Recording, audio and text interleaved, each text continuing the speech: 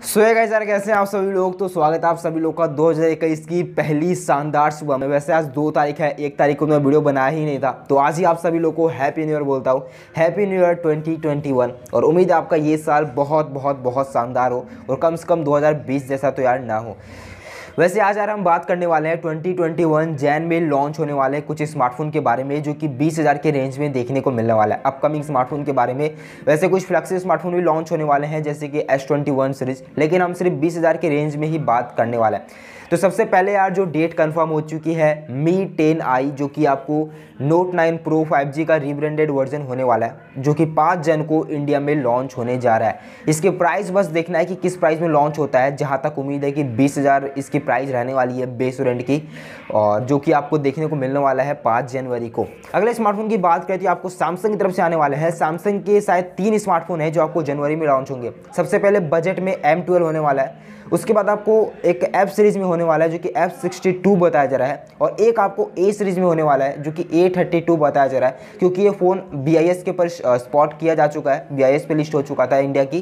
तो इसका मतलब इसकी भी लॉन्चिंग होने वाली है। तो कहीं जनवरी खत्म होते होते सैमसंग की तरफ़ से भी आपको तीन स्मार्टफ़ोन देखने को मिल सकते हैं। अगले स्मार्टफ़ोन की बात करें, जिसके लिए शायद मैं काफ़ी ज़्यादा एक्साइटेड हूँ और बहुत समय के बाद कुछ अच्छा लॉन्च करने वाला है लावा जी हाँ लावा का एक फ़ोन लॉन्च होने वाला है, सात जनवरी को डेट कन्फर्म हो चुकी है और उसको लेके बहुत ज़्यादा हाइप हो चुकी है। लाभा कह रहा है कि हम ऐसा फ़ोन लॉन्च करने वाला है कि अब दुनिया देखेगी और गेम चेंजिंग फ़ोन होने वाला है और थोड़ा अपर बजट होने वाला है। मतलब कि अभी तक जो लाभा की ट्रैक रिकॉर्ड है कि पाँच हज़ार छः हज़ार में घटिया सा चिपसेट के साथ अजीब सा फ़ोन लावा लेके आता है। लेकिन इस बार गेम चेंजर फ़ोन होने वाला है और इसको लेके शायद मैं काफ़ी ज़्यादा एक्साइटेड हूँ। इस फ़ोन का अभी तक ना नाम क्लियर है, ना इसके बारे में और कुछ डिटेल निकल के आई है। सब अभी तक बहुत ही सीक्रेट है। तो बाकी देखते हैं लाभा क्या धमाका करता है। सात जनवरी को फ़ोन लॉन्च होने वाला है। बाकी इसके बारे में जो डिटेल आएगी मैं आपको बता दूँगा।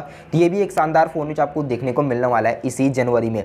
अगले स्मार्टफ़ोन की बात करें तो इंडिया के दो दूसरे ब्रांड है माइक्रोमैक्स जी हाँ माइक्रोमैक्स का दोस्तों इन नोट वन और इन वन बी करके दो फ़ोन आ चुके हैं। अब इसका एक सक्सेसर और आने वाला है, जो इन नोट वन प्रो के नाम से शायद बताया जा रहा है, या फिर इन नोट टू हो सकता है, बताया जा रहा है। और ये फ़ोन भी आपको जनवरी में ही देखने को मिलने वाला है। इसकी भी ज़्यादा डिटेल निकल के नहीं आई है, लेकिन फ़ोन आपको जगह जगह स्पॉट किए जा रहे हैं। कुछ की बैटरी स्पॉट की जा रही है तो माइक्रोमैक्स के फुल तैयारी है और जनवरी में ही माइक्रोमैक्स की तरफ़ से भी एक फ़ोन आपको देखने को मिलने वाला है, जो कि आपको दस हज़ार के रेंज में आपको देखने को मिलेगा। दस पंद्रह हज़ार के रेंज में मतलब होने वाला है। शायद दस हज़ार से ऊपर होगा, पंद्रह हज़ार के रेंज में आपको देखने को मिलने वाला है। अगले स्मार्टफ़ोन की बात करें, जिसको लेकर बहुत लोग एक्साइटेड है रियलमी की एक्स सेवन अब इसकी यार प्राइस मैन है, कितनी प्राइस में रियलमी इसको लॉन्च करता है। एक्स सेवन और एक्स सेवन प्रो दो फ़ोन आने वाले हैं। इसके बारे में मैंने काफ़ी सारी वीडियो बनाई हुई है। इसकी इंडिया लॉन्च कंफर्म नहीं हुई है, लेकिन दस तारीख की बताई जा रही है, अंदर इसकी इंडिया लॉन्च हो सकती है।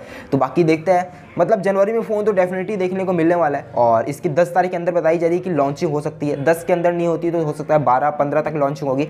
लेकिन आपको जनवरी में ही इसकी लॉन्चिंग होने वाली है। प्राइस इसकी अगर हम बात करें तो एक्स सेवन की जहाँ तक प्राइस बताई जा रही है, वो आपको बाईस तेईस हज़ार रुपये रह सकती है। जबकि एक्स सेवन प्रो का जो बेस होगा, वो आपको पच्चीस छब्बीस से शुरू हो सकता है। फ़ोन ज़बरदस्त शानदार होने वाला है। एक सौ बीस वाली AMOLED display thousand plus MediaTek का चिपसेट दोनों फाइव होंगे। धमाकेदार फ़ोन होने वाला है। पैंसठ वाट की फास्ट चार्जिंग तो एक्स सेवन सीरीज़ भी यार किलर सीरीज़ होने वाली है, जो आपको जनवरी में देखने को मिलने वाली है। और कुछ और स्मार्टफ़ोन की बात करें तो नोकिया की तरफ़ से भी आपको देखने को मिलने वाला है। 5.4 बताया जा रहा है, जो कि आपको जनवरी में फ़ोन देखने को मिलने वाला है।